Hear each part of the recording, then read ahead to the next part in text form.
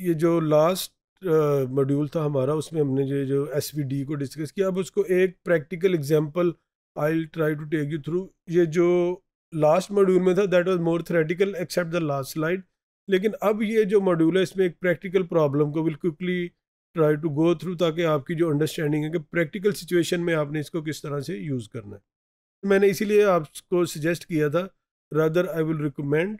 strongly कि आप थोड़ा सा मैट्रिस को पढ़ लीजिएगा at your convenience during your course क्योंकि अभी जब आप अपने अपना पूरा कोर्स करना you will have lot of time क्योंकि ये बहुत ज़रूरी चीज़ है। जैसे मैंने एक चीज़ और रिकमेंड की थी कि सेट थ्योरी को अंडरस्टैंड करें, उससे आपको जो अपना, जब आप एसक्यूएल या डेटा का लॉजिक डेवलप करते हैं दैट इज़ वेरी यूज़फुल इसी तरह यहाँ पे ये जो आपको इवन प्रिंसिपल कंपोनेंट एनालिसिस और ये दूसरे काफ़ी जगहों पे आपको मैट्रिसेस बहुत ज़्यादा आपके लिए यूज़फुल होंगी, क्योंकि ये डायरेक्टली जो डाटा की रिप्रेजेंटेशन है ना, उसको अंडरस्टैंड करने में जब आपका मल्टी डायमेंशनल डाटा आता है, आपके पास मल्टीपल रेज में डाटा आता है तो उसको अंडरस्टैंड करने में आपके लिए ये नॉलेज है that will be very very useful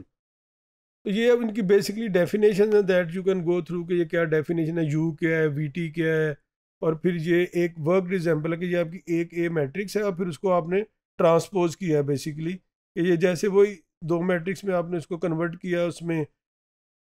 values वही हैं, ये one two three four five six ये वन फोर ये जो जैसे मैंने कहा था ना आप रोज़ को कॉलम में कन्वर्ट कर लेते हैं। ये बिल्कुल वही है कि ये जब आप अपनी, कि मैंने बात की थी जब when I was trying to explain dimension and measures ये कुछ सॉफ्टवेयर टूल ऐसे वो आपको फैसिलिटेट इस तरह से करते हैं कि आप with click of a button during your analysis या जब आप वर्टिफ एनालिसिस करते हैं, आप डायमेंशन को रोज़ में कन्वर्ट कर लेते हैं। तो आपके वो मैयज डायमेंशन बन जाते हैं और जो डायमेंशन है वो मैयज बन जाती हैं। And there so many examples in the real world like this तो फिर ये जो आपने जब दोनों को मल्टीप्लाई किया तो this is what you got ये जैसे मैंने कहा कि it's very interesting in algebra ये फिर आपको इंपॉर्टेंट जोमेट्रिक और थ्रेटिकल इंसाइट्स भी देता है डाटा के बारे में। तो ये अंडरस्टैंड करना ज़रूरी है कि ये जो नोटेशन है आपकी ए क्या है ए आपकी एक मैट्रिक्स है, वो ट्रांसपोज करके आपने रोज़ को कॉलम में किया। और ये वाली ये जो है, ये देखिए, ये एज इट इज़ है आपकी। फिर आपने जब दोनों को मल्टीप्लाई करते हैं, हर रो को कॉलम के साथ, और वो फिर उसका एक पूरा सिस्टमेटिक तरीके से this is what you get अब इसको we do it again with a different example अब ये आपके पास एक मैट्रिक्स है, आपने उसको फिर रोज़ को कॉलम में कन्वर्ट किया, जब आपने दोनों को मल्टीप्लाई किया तो this is what you got right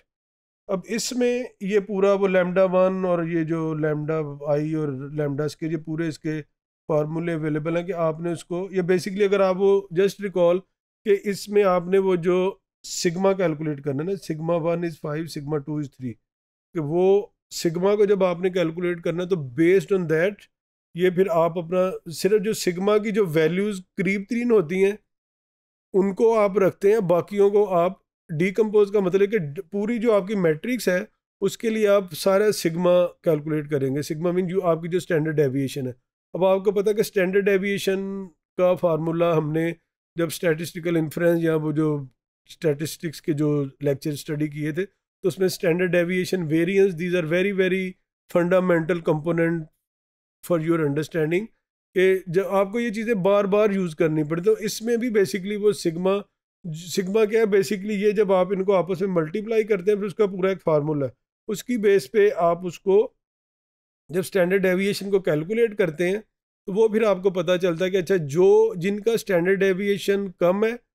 उनको आप रख लेते हैं और जिनका ज़्यादा है, उनको आप एक्सक्लूड कर देते हैं उसमें से अपने डाटा सेट में से। और आपने देखा था कि in one of the last example वो बहुत सारी जगहों पे वो ज़ीरो भी आ जाता है। ज़ीरो को भी आप एक्सक्लूड कर देते हैं और सिर्फ़ सिग्मा, जिनका सिग्मा ज़ीरो नहीं है उनको आप ले लेते हैं। तो इस तरह they are different but standard aviation in S V D is very very important for you to understand and implement वही एग्ज़ाम्पल अब हमारी कंटिन्यू है कि इसमें फिर आपने डिफरेंट जो क्योंकि ये basically this is all mathematics तो इसको आप जब यू you नो know, करेंगे अपने हाथ से ये जब अगर आप इसको देखें कि आप यहाँ से शुरू हों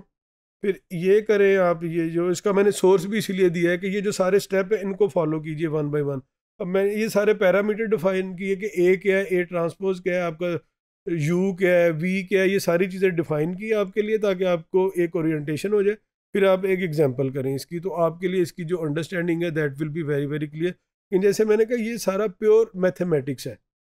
लेकिन ये बड़ा ही यूज़फुल और ईजी है। जब आप मैट्रिक्स के अंदर नंबर डालेंगे ना, एक, दो, तीन वट तो वो फिर आपको उसको मल्टीप्लाई करना, उसके ऊपर जो स्टैंडर्ड डेविएशन उसकी कैलकुलेट करना, या जो भी आपके कोरिलेशन कोफिशेंट वगैरह कैलकुलेट करना, ये चीज़ें काफ़ी आसान है और ये बेसिक हैं, बिल्कुल कोई इसमें ये एक बहुत ज़्यादा कॉम्प्लिकेटेड जो कुछ जैसे होती है ना टेक्निक्स